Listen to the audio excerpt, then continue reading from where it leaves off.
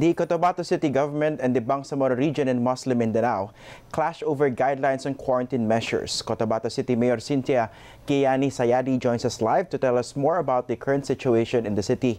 Good morning, uh, Mayor Cynthia, and thank you very much for joining us this morning. Good morning. Good morning, Christian. Okay, I understand uh, there's uh, a conflict between the Bangsamoro regional government and Cotabato City, uh, the one that you run. Uh, actually, Uh, I'd, I'd like to yeah, ask about this. Uh, is it true that uh, you are arresting uh, employees of the Bangsamoro regional government whenever they enter or when they entered uh, Cotabato City, which is still the center of the regional government?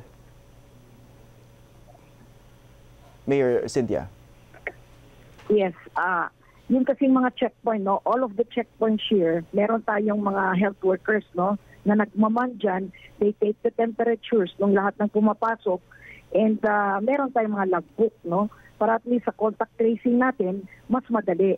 But the problem is, etong uh, Bangsamoro Autonomous Region, hindi naman sila naniniwala sa enhanced uh, uh, community quarantine ng Cotabato City. No? Ang dami-dami nilang violations. Uh, ang sa akin lang sana, sabi ko, this is not the time na uh, unahin natin kung ano yung mga hindi pagkakaunawaan. No? Dapat sana tulungan nila since we are the host city, no?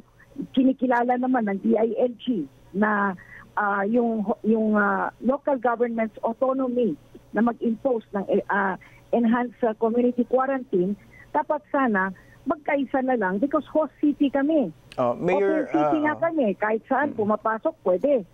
Pero hindi namin pinipigilan yung mga uh, tinatawag nating frontliners. But as it is, abused yung tinatawag na frontliners dito in the way, in a sense na kahit hindi frontliner, nagkakaroon ng ID ng uh, uh, DARMM, no? Mm. So, yung pasok nila, wala nang mga checkpoints. Anytime gusto nilang pumasok, no? Uh, papasok sila. While everybody in Cotabato City, uh, nire-recognize natin yung enhanced community quarantine, eh, sa kanila, walang adjustments na nangyayari. how many uh, how many have uh, how many has the city government arrested so far?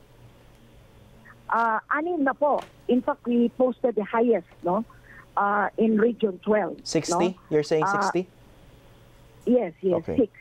In Six. Region 12 kami. Wait, no? 6 or 60? Ah, anim po, six.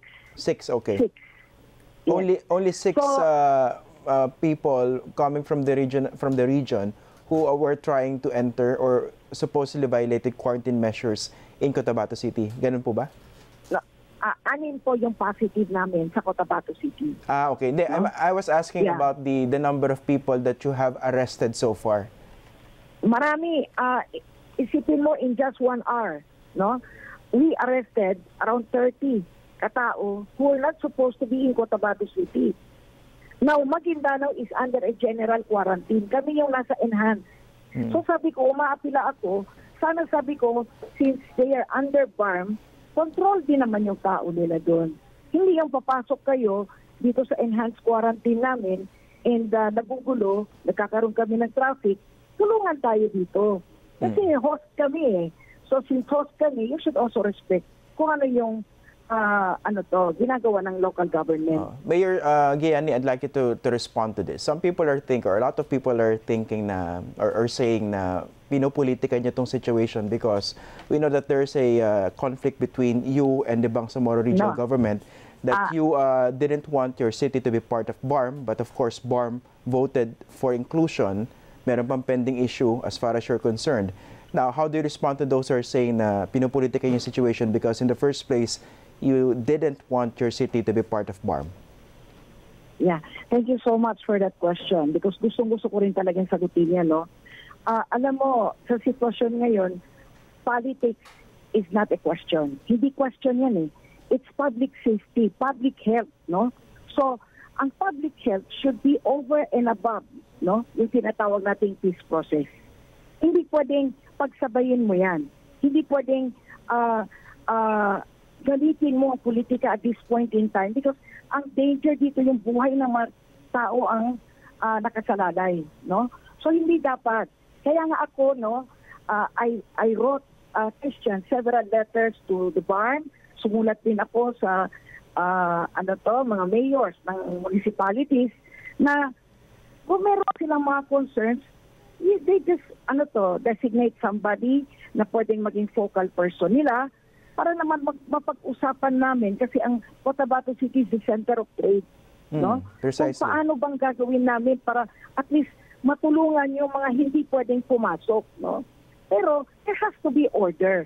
At saka kailangan nating mag- magkasundo.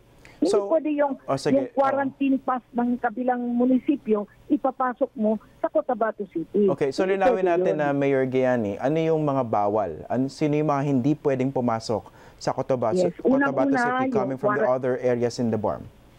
Yes, yung quarantine pass ng munisipyo wa adjacent sa Cotabato City, hindi po talaga pwedeng pumasok ng Cotabato City yan. No? And then, sabi nga namin, yung mga employees ng ah, pa- both public, private, na nasa loob ng Cotabato City, pinapakuha po namin ng working pass.